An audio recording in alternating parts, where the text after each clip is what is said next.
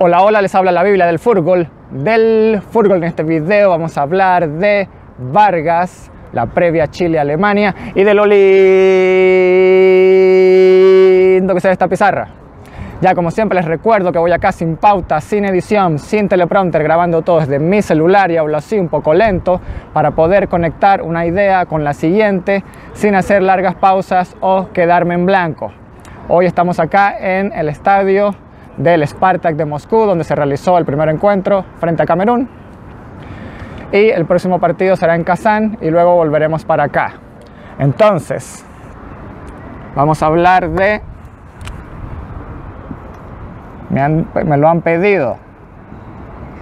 Que hable del VAR, de Vargas. Entonces Vargas fue víctima o quizás beneficiado con esta tecnología que hay. Ok, revisando en mi Twitter coloqué un retweet de las imágenes donde precisamente sí estaba adelantado y luego no, en el caso de Alexis Sánchez.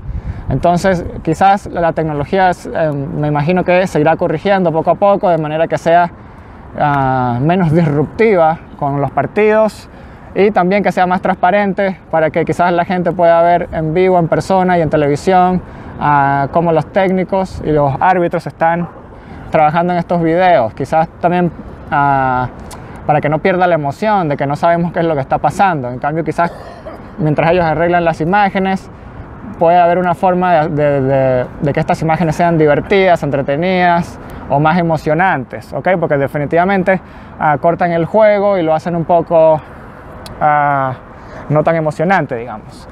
Ya, entonces como siempre tengo acá en la pizarra el equipo del 7-0, pero sabemos que Alexis Sánchez está lesionado, Claudio Bravo estaba lesionado, ¿ok? Puch jugó en el puesto de Alexis Sánchez, fue en salida, él siempre lo utiliza allí. Entonces los únicos puntos bajos, ok, contradictorios con el sistema de Pisi es Isla porque no aporta en la creación y los dos arqueros, en este caso fue Herrera porque no aporta con la creación, no aporta con el juego de pies de Claudio Bravo, eso ya lo hemos mencionado. Ok, ¿cuál fue el problema? El primer problema fue Puch. Puch jugó un excelente partido. ¿Cuál fue el problema de Puch? Su posición. ¿Ok? Puch se posiciona muy atrás o muy adelante cuando no tiene la pelota, cuando no la tiene. Entonces es un problema táctico de Puch. ¿Ok? Ups. Entonces tiene que copiar más. ¿Ok? Tiene que fijarse como lo hace Alexis Sánchez que se coloca acá. ¿Ok? ¿Por qué? ¿Cuál es, ¿Cuál es la diferencia? Alexis Sánchez se coloca acá y entonces cuando un jugador de Camerún o del equipo rival va a hacer un pase en ataque, tiene que hacer el pase o muy atrás, donde no tiene sentido porque va a llegar la marca de Alexis o de cualquier otro compañero, o tiene que hacer un pase muy adelante, muy adelante, donde Alexis Sánchez generalmente llega por detrás y cualquier otro defensa ya está allí. Entonces, ¿qué es lo que sucede? Generalmente, Fuensalida juega allí y el cambio es Puch por Fuensalida. Por esta banda, ya Isla es un poco más defensivo, digamos, no aporta tanto en la creación como el caso de Bocellur, aunque los dos son muy seguros, los dos. ¿okay? No es que esté hablando mal de Isla, al contrario, estoy hablando bien de Isla. Cuando Puch juega allí, no se nota tanto este problema de ubicación. ¿Ok? Pero como siempre lo hemos acostumbrado a ver allí, por la selección al menos, no nos habíamos, no nos habíamos fijado, ¿ok? No nos habíamos dado cuenta de este pequeño problema con Puch, que tiene un problema posicional. Se tiene que colocar allí donde Alexis Sánchez. Además, Puch es tan o más rápido que Alexis Sánchez, especialmente sin pelota, que es lo que estamos hablando, y entonces él con más razón debería tomar esa posición, ya que tiene más oportunidad de correr hacia adelante o hacia atrás. Ok, entonces ese fue un problema de Puch, que quizás no lo sabíamos, porque siempre lo colocan en este lado de la banda, ok, o por lo menos en un, con un rival, como lo fue Camerún, se notó mucho más porque es un rival muy rápido. Ya, entonces, ¿cuál fue el otro problema? El otro problema fue el otro problema fue que no debieron haber cambiado a Alexis Sánchez por Puch. Bueno, además, por eso quizás esa, esa, ubicación hizo la diferencia. Pero el primer cambio, el último cambio debió haber sido el primero, porque el último cambio fue el que dio la victoria. Los cambios fueron a Fuensalida por Valencia, Puch por Alexis Sánchez y Charles Aranguis por el Gato Silva. ¿Ok? Este cambio fue el que dio la victoria y este cambio debió haber sido el primer cambio. De modo de que si este cambio no funcionaba, ahí sí entraba Alexis Sánchez y no arriesgarlo a que se le colocara el pie de la forma que se le colocó. ¿Ok? ¿Por qué? ¿Cuál fue el cambio?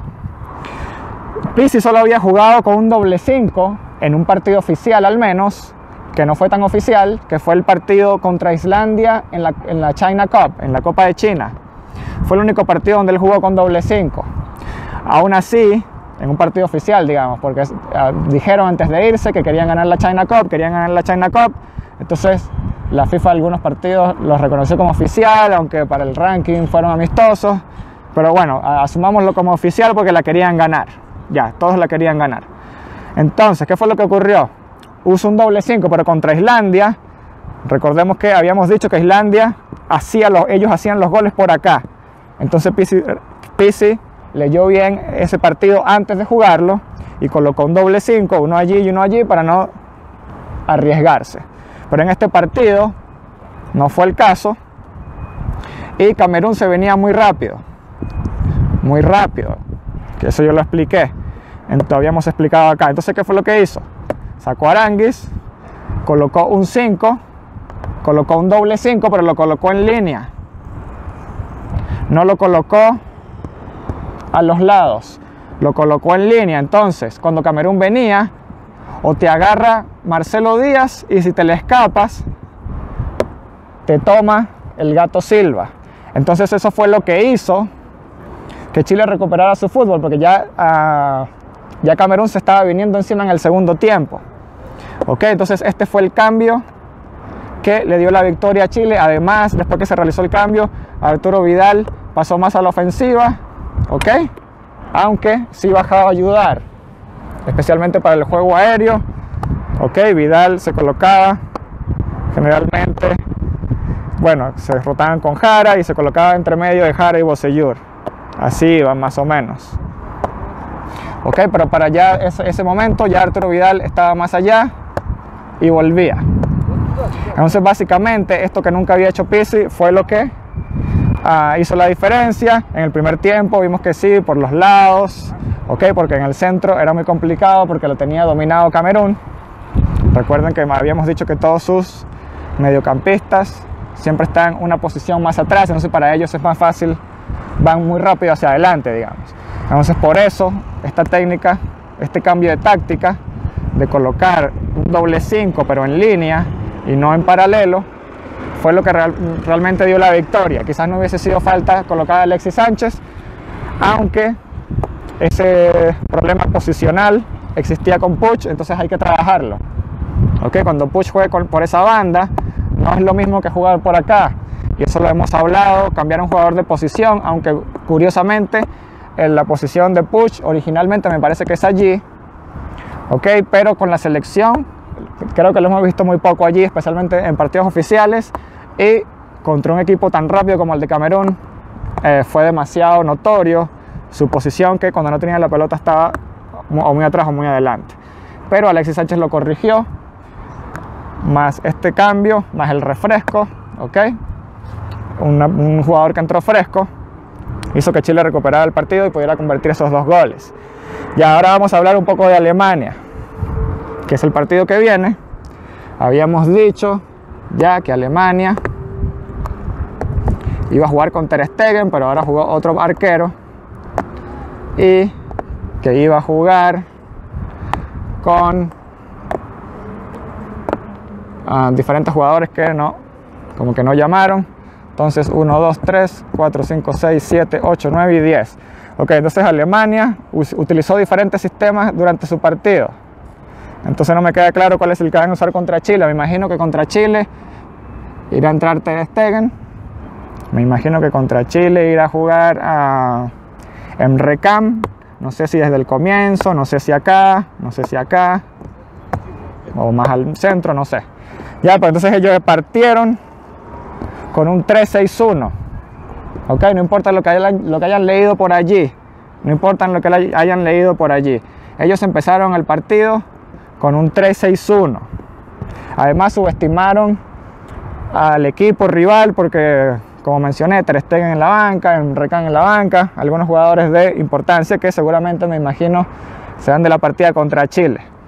Entonces, ellos comenzaron así, luego cambiaron a dos delanteros y fue básicamente un 3-5-2. 3-5-2 pero con 2 acá. Ok. Y luego y luego terminaron 3-4-3 3-4-3-3 4-3-3 que me imagino que es lo que iban a utilizar contra Chile. Ok pero entonces tenemos utilizaron 3-6-1 en ese caso no sé si es que irán a salir al empate pero vimos que cometieron errores cuando tenían los seis mediocampistas en la cancha. Cometieron un error que casi les cuesta un gol. Lo que pasa es que el jugador australiano le pegó mal. Entonces, en el caso de que ellos jueguen con seis, con 3-6-1, con, tres, con seis mediocampos, lo que hay que hacer para ganarles ya es ir a buscar a esos seis. ¿Por qué? Porque son seis jugadores que no están acostumbrados a jugar juntos y van a jugar en el centro del campo. Entonces imagínense si contra Australia hicieron un error, imagínense la cantidad de errores que pueden cometer contra Chile, la cantidad de desentendimiento que va a existir allí, aunque yo no creo que ellos vayan a utilizar esa formación contra Chile. Okay, pero en ese caso el, el truco está para ganarles por el centro, ¿ok? Poblar porque van a cometer un error, no creo que se vayan mucho en ataque. Si, salen con, si parten con esa formación, luego un 3-5-2 pero básicamente eso lo estaban haciendo. Eso básicamente lo estaban haciendo porque como el, jugador, el, equipo es más joven, quizás esa sí sea la formación que utilicen contra Chile en algún momento. 5-2, pero con 2 acá. 3, 5, 2. Ok, ahí estamos. Ya, entonces bajaban estos dos, sobre todo por acá. Ok, subía mucho este jugador que al comienzo empezó jugando en el medio campo. Él bajaba mucho y subía mucho, es muy rápido, muy bueno este jugador. Ok, en este caso, en este caso, por las bandas, por la misma cuestión, estos dos jugadores, ok, van a ser cinco atrás, no están acostumbrados a jugar juntos, hay que presionarlos arriba siempre, pero en las bandas. Ok, y en el caso, ese es en el caso del 3-5-2. En el caso de que Alemania juegue 4-3-3, que fue el caso que explicamos en el análisis de, Alemania por sí sola, aunque lo, aunque lo explicamos con los jugadores titulares, que no son estos obviamente, pero recuerden que siempre, incluso para el 3-6-1, incluso para el 3-5-2, la debilidad de Alemania es la ausencia de Philip Lahm, ¿ok? Esta banda. Esa es siempre su debilidad. El técnico Joaquín Lowe, él todavía no se recupera de la ausencia de Philippe Lam.